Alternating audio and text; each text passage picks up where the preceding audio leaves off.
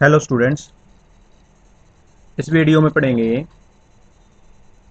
magnetic field on the equatorial line of the bar magnet या magnetic dipole अगर dipole हमारे पास ये है तो इक्विटोरियल लाइन होती है, जो इसका परपेंडिकुलर बाइसेक्टर होता है। इसके ऊपर किसी पॉइंट के ऊपर, जैसे कि यहाँ पे। कहता है, मैग्नेटिक फ़ील्ड निकालिए. तो एक डाइपोल लेके चलते हैं।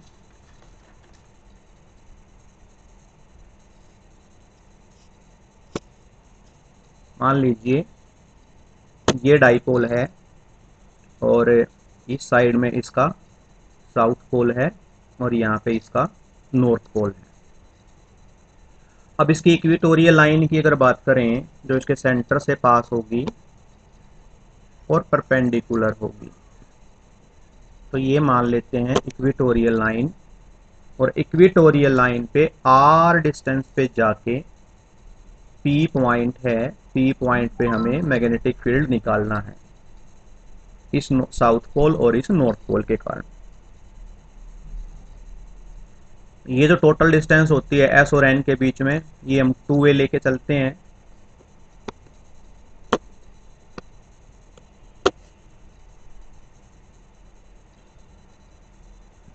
और एस और पी को मीट करवा देते हैं।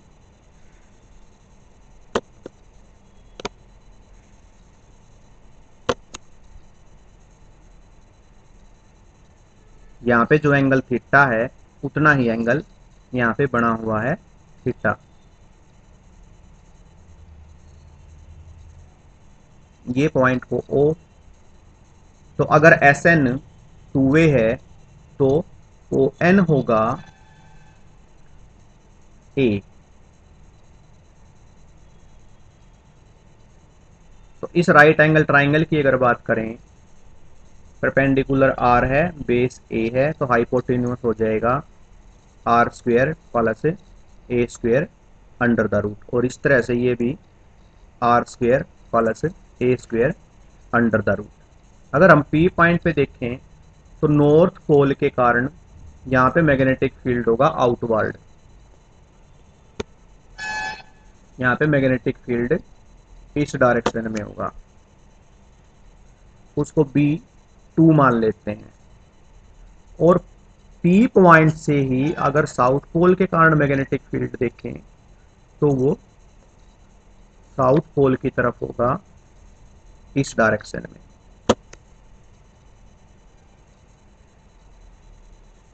जिसको B1 मान लेते हैं। अब P पॉइंट पे दो मैग्नेटिक फ़ील्ड हैं तो इनका रिजल्टेंट हमें निकालना पड़ेगा। अगर हम B1 की वैल्यू लिखें mu naught upon four pi और पोल स्ट्रेंथ एम और एम लेके चले हैं हम पोल स्ट्रेंथ बाय डिस्टेंस का square pole strength by distance distance है R square plus A square R square plus A square under the root whole square ये B one की value है। इस तरह से अगर बी टू की वैल्यू लिखें बी टू की वैल्यू भी सेम हो जाएगी mu naught upon four pi B two B two है नॉर्थ पोल के कारण तो पोल स्ट्रेंथ है एम एम अपॉन डिस्टेंस है पी एन और पी एन है ये, इतना सारा R square plus A square under the root R square plus A square under the root whole square हम देखते हैं magnitude of B one equal है magnitude of B two equation one और two से। तो B1 और B2 का जो रिजल्टेंट होगा, वो इस डायरेक्शन में आ जाएगा। ये एंगल अगर थीटा है तो ये एंगल भी थीटा और ये एंगल अगर थीटा है तो ये एंगल भी थीटा हो जाएगा। तो B2 का इस डायरेक्शन में कंपोनेंट क्या आएगा? B2 का कंपोनेंट पी आर डायरेक्शन में आएगा बी टू कोस थीटा और इस तरह से बी वन का कंपोनेंट पी आर डायरेक्शन में आएगा बी वन कोस थीटा अब बी वन का एक कंपोनेंट अपवर्ड डायरेक्शन में जाएगा and that is B one sine theta और इसी तरह से बी टू का एक कंपोनेंट डाउनवर्ड डायरेक्शन में जाएगा, वो होगा बी वन साइन थीटा लेकिन बी वन और बी टू मैग्नीट्यूड में इक्वल हैं तो ये कंपोनेंट एक दूसरे को कैंसिल कर देंगे। तो नेट मैग्नेटिक फ़ील्ड बचेगा। इन दोनों कंपोनेंट का सम पी आर डायरेक्शन में। तो हम लिख सकते हैं net magnetic field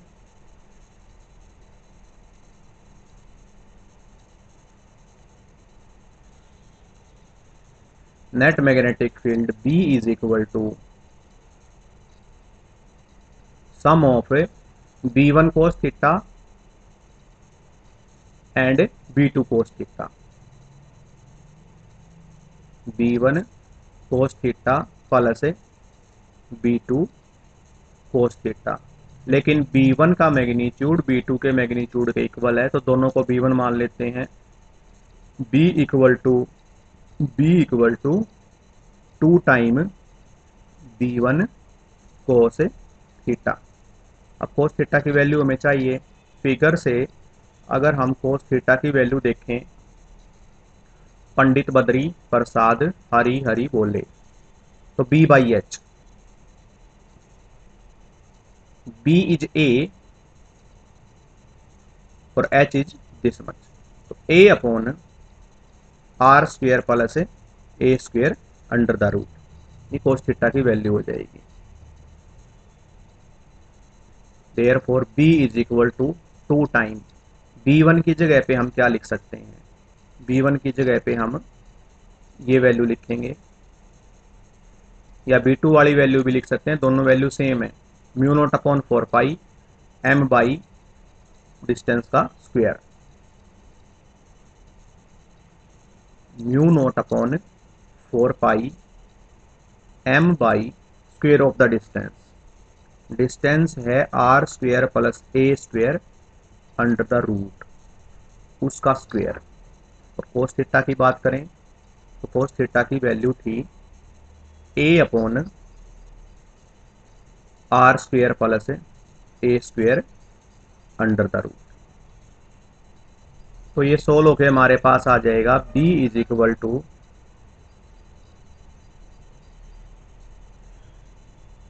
mu naught upon four pi इस टू को m को और ए को हम इकट्ठा लिख लेते हैं। Two way in two M और डिवाइडेड बाई इन पावर को जोड़ लेते हैं। दो पावर यहाँ पे हैं, एक पावर यहाँ पे है। R square plus A square under the root और उसकी पावर थ्री अब ये जो क्वांटिटी है टू ए इंटू एम ये कैपिटल एम के इक्वल होता है। Magnetic moment two A into small M तो हमारा रिज़ल्ट बन जाएगा b is equal to mu naught upon four pi capital M divided by R square plus A square और three और हाफ़ पावर अंदर है तो हम लिख सकते हैं थ्री बाई टू पावर। तो ये हमारा मैग्नेटिक फ़ील्ड आ गया इक्विटोरियल लाइन के ऊपर। अगर हम केस डील करें, जो आर है, वो बहुत बड़ा हो जाए ए से। दैट मीन ये डाइपोल है और इक्वेटोरियल लाइन पे पी पॉइंट बहुत ज़्यादा दूर हो जाए। आर इतना दूर इतना दूर हो जाए पी पॉइंट आर काफ़ी बड़ा हो जाए किससे? ए से। तो उस केस में हम ए को नेग्लेक्ट कर देंगे। तो ये इक्वेशन हमारी बन जाएगी। B equal to mu naught upon four pi A R के कंपैरिजन में ए को नेग्लेक्ट कर देंगे। तो हमारे पास बचेगा एम अपोन अकेला आर का स्क्वेयर बचेगा बार थ्री बाई टू पावर है टू से टू कट जाएगा तो आर क्यूब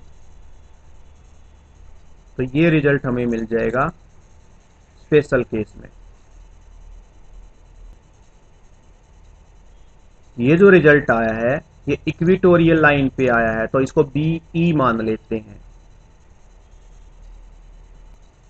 और पिछले आर्टिकल में, पिछले लेक्चर के अंदर जो एक्सियल लाइन के ऊपर हमने निकाला था, यहाँ पे बी निकाला था। बी ए उसको बोल लेते हैं बी एक्सियल वो था mu naught upon four pi two time capital M by R cube तो हम देखते हैं एक्सियल वाला टू टाइम ज़्यादा है इक्विटोरियल वाले से।